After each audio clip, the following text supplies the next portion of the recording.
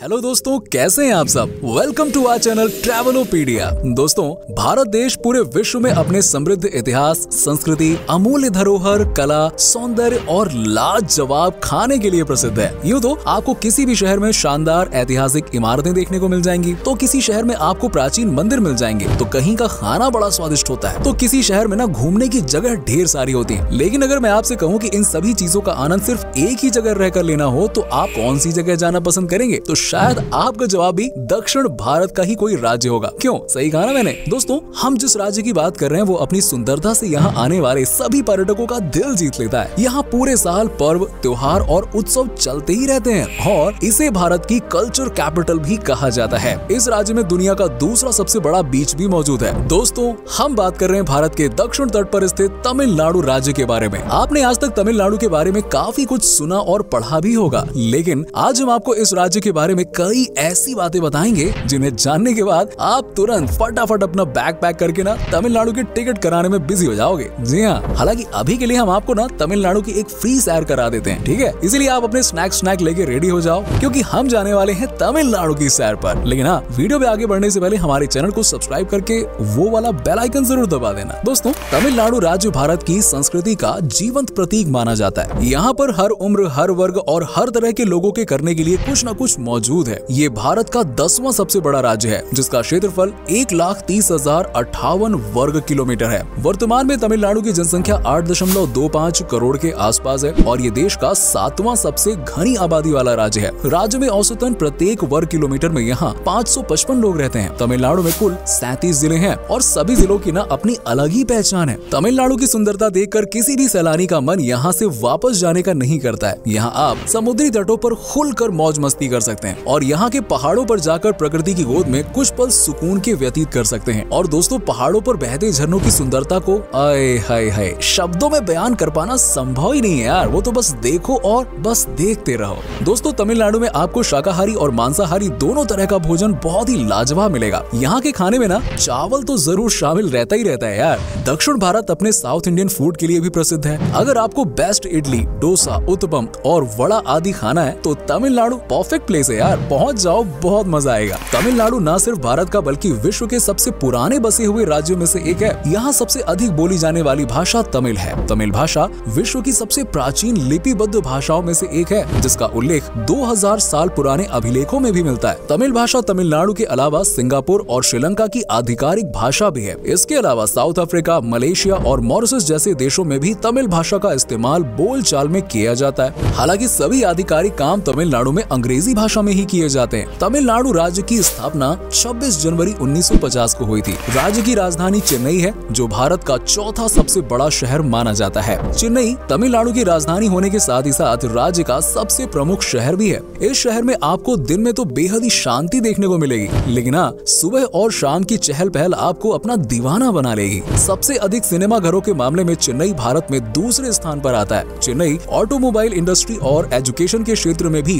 तेज़ी से विकास कर रहा है। ऑटोमोबाइल हब के नाम से मशहूर चेन्नई का ट्रांसपोर्ट सिस्टम भी काफ़ी अच्छा है। इस शहर में मेट्रो रेल भी दौड़ती है, जिससे रोज़ाना लाखों लोग सफ़र करते हैं। आईआईटी मद्रास का नाम तो आप सभी ने सुना ही होगा, जो भारत के बेस्ट एजुकेशन सेंटर्स में से एक है। इसके अलावा आईपीएल में भी चेन्नई की टीम चेन्नई सुपर किंग्स की धूम रहती है यार, और धोनी को चेन्नई के लोग बहुत ही प्यार करते हैं। जब भी चेन्नई में कोई मैच होता है तो ऐसा लगता है कि मानो शहर में कोई बड़े उत्सव की तैयारी चल रही हो। आईपीएल टूर्नामेंट में चेन्नई चार बार खिताब अपने नाम कर चुकी है। तमिलनाडु भारत की अर्थव्यवस्था को मज़बूत करने में सक्रिय भूमिका अदा करता है। महाराष्ट्र के बाद ये भारत का दूसरा सबसे मज़बूत अर्थव्यवस्था वाला राज्य है। इसकी वर्तमान में जीडीपी 325 बिलियन डॉलर्स की लगभग है। तमिलनाडु में हर वर्ष जनवरी के मध्य में पोंगल का त्योहार मनाया जाता है। ये फ़सलों की कटाई से जुड़ा एक उत्सव होता है। ये त्योहार अलग अलग राज्यों में अलग अलग नामों से सेलिब्रेट किया जाता है। पंजाब और उत्तर भारत में इसे लोहड़ी के नाम से मनाते हैं। तो वहीं गुजरात, महाराष्ट्र और कर्नाटक में इस त्योहार को मकर संक्रांति का नाम दिया गया है। पोंगल के अवसर पर तमिलनाडु में जल्लीकट्टू पट्टू खेल का आयोजन भी किया जाता है, जिसमें बैलों को आपस में लड़ाया जाता है। हालाँकि पिछले कुछ सालों के दौरान इस खेल पर थोड़ी सख्ती जारी की गई है, और लोग सरकार से इस खेल पर प्रतिबंध लगाने की बात कर रहे हैं, लेकिन अब भी इस खेल का आयोजन चोरी छिपे हर वर्ष हो ही जाता है यार। उत्सव है और क्या, लोग मनाएँगे? तमिलनाडु को भारत का डेट्रॉइट भी कहा जाता है, क्योंकि आज यहाँ कई बड़ी बड़ी कार कंपनियों के प्लांट्स मौजूद हैं, और यहीं से गाड़ी मैन्युफैक्चर होकर पूरे देश में बेची जा रही है। बहुत कम लोग जानते हैं कि तमिलनाडु में वर्ल्ड बैंक का ऑफ़िस भी मौजूद है। जी हाँ तमिलनाडु को अगर एक कृषि प्रधान राज्य कहा जाए तो यार गलत नहीं होगा। यहाँ बड़ी मात्रा में केले का उत्पादन होता है। केले के प्रति यहाँ के लोगों की दीवानगी का अंदाज़ा आप इसी बात से लगा सकते हो कि यहाँ पर लोग चाय के साथ भी ना केला खाना पसंद करते हैं यार। व्हाट अ कॉम्बिनेशन हल्दी और साबुदाने के उत्पादन के मामले में भी तमिलनाडु देश का प्रमुख राज्य है। इसके अलावा चावल, नारियल, आम और मूंगफली जैसे कई अन्य फ़सलों की पैदावार यहाँ बड़े पैमाने पर की जाती है। चेन्नई का मरीन बीच दुनिया का दूसरा सबसे लंबा बीच माना जाता है, जिसका तट 12 किलोमीटर से अधिक फैला हुआ है। पहले नंबर पर ब्राज़ील के रियो डिजेनेरियो में स्थित एक बीच है। लेकिन मरीन बीच जैसी सुंदरता आपको दुनिया के किसी भी बीच पर देखने को नहीं मिलेगी। आप यहाँ सूर्योदय और सूर्यास्त का आनंद ले सकते हो। आप चाहे फैमिली के साथ आए हो या अपने पार्टनर के साथ, ये जगह आपको ज़रूर पसंद आएगी। रियली बोल रहा हूँ मैं, चेन्नई को पहले मद्रास के नाम से जाना जाता था, लेकिन बाद में चन्नापट्टनम के नाम पर इस शहर का नाम चेन्नई कर दिया गया। अंग्रेज़ों के समय में भी चेन्नई भारत का एक प्रमुख शहर हुआ करता था। जीडीपी पर कैपिटा के मामले में चेन्नई भारत में तीसरे स्थान पर आता है। इस शहर ने भारत को कई महान हस्तियाँ दी हैं। सुपरस्टार रजनीकांत से लेकर अभिनेता कमल हासन और संगीतकार ए आर रहमान तक सभी चेन्नई शहर की ही देन है।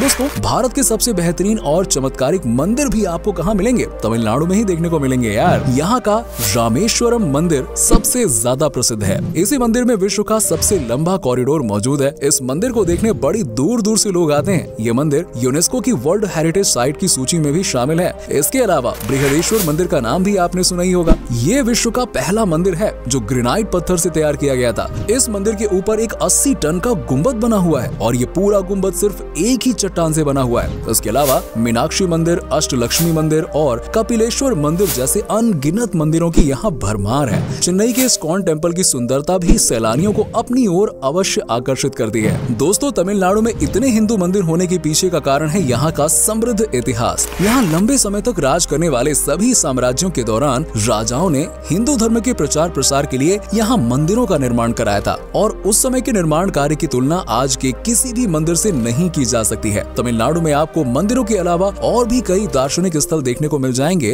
अरिगनार अन्ना जूलॉजिकल पार्क देश का पहला पब्लिक चिड़ियाघर था, जो 1855 में खोला गया था। मरीन बीच के बारे में तो हमने आपको पहले ही बता दिया इसके अलावा ब्रीजी बीच भी सैलानियों के बीच में काफ़ी लोकप्रिय है। यहाँ पर बोटानिकल गार्डन का आनंद भी आप ले सकते हैं। यहाँ सैकड़ों तरह के रंग बिरंगे और खुशबूदार फूल आपको मंत्र मुग्ध कर देंगे यार। बहुत खूबसूरत है। इसके अलावा दोस्तों, पूरे दक्षिण भारत की शान मानी जाने वाली प्यूलिकैट लेक के पास आपको शांति का अनुभव होगा। आपने आज तक कई प्रकार के झरने देखे होंगे, लेकिन सिरुवनी झरने जैसी खूबसूरती आपको दुनिया में कहीं भी देखने को नहीं मिलेगी। भारत की सबसे लंबी टॉय ट्रेन की जर्नी का आनंद लेना चाहते हो? तो यार, तमिलनाडु के ऊटी शहर में आप ले सकते हो। ऊटी नीलगिरी की पहाड़ियों में बसा पर्वतीय हिल स्टेशन है। ये शहर अपने नैसर्गिक सुंदरता के लिए प्रसिद्ध है। ऊटी चारों ओर हरियाली से घिरी हुई है और इन्हीं हरे भरे पेड़ों और सुंदर पहाड़ियों की वजह से ऊटी की नेचुरल ब्यूटी सबका मन मोह लेती है। वैसे तो साल भर यहाँ का मौसम सुहावना रहता है, मगर सर्दियों के दिनों में मौसम बेहद ठंडा हो जाता है। तमिलनाडु के सबसे निचले तट पर स्थित कन्याकुमारी के पास तीन सागरों का महासंगम है, जहाँ बंगाल की खाड़ी, अरब सागर और हिंद महासागर का मिलन होता है। इसे त्रिवेणी संगम भी कहा जाता है। ये वही जगह है जहाँ पर महापुरुष स्वामी विवेकानंद जी ने भी ध्यान लगाया था।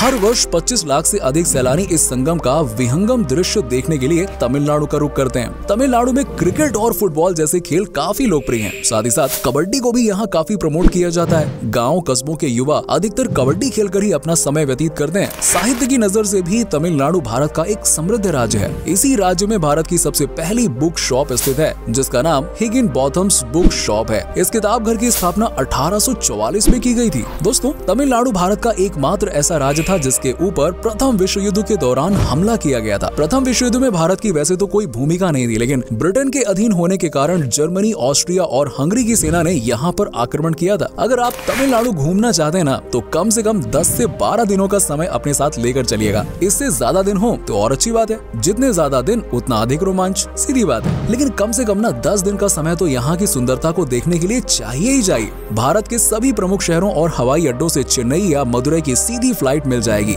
यहाँ तक आप रेल रूट के ज़रिए भी पहुँच सकते हैं। अगर दक्षिण भारत के ही किसी राज्य से आप तमिलनाडु आना चाहते हैं तो अपनी गाड़ी से भी ट्रेवल करके आप यहाँ तक पहुँच सकते हैं। तो दोस्तों, ये था भारत की संस्कृति से लबालब एक खूबसूरत राज्य तमिलनाडु। उम्मीद करते हैं कि आपको ये वीडियो काफ़ी अच्छी लगी होगी। अगर हाँ तो इसे लाइक और शेयर ज़रूर कीजिएगा। आपको तमिलनाडु के बारे में कौन कौन सी बातें सबसे अच्छी लगी, हमें नीचे कमेंट सेक्शन में कमेंट करके ज़रूर बताइएगा। क्या आप तमिलनाडु की सैर पर जाना पसंद करेंगे, इस बारे में हमें भी बताइए। और अगर आप कभी पहले गए हैं तमिलनाडु तो अपना अनुभव हमारे साथ ज़रूर साझा कर सकते हैं। शायद तमिलनाडु से भी बहुत से दर्शक हमारी इस वीडियो को देख रहे होंगे। तो वो लोग अपने राज्य के बारे में सबसे अच्छी बातें ज़रूर बताइए। चलिए दोस्तों, अब आपसे विदा लेते हैं। आज के लिए बस इतना ही। आपसे फिर मिलेंगे एक नई वीडियो और ढेर सारी रोचक जानकारी के साथ।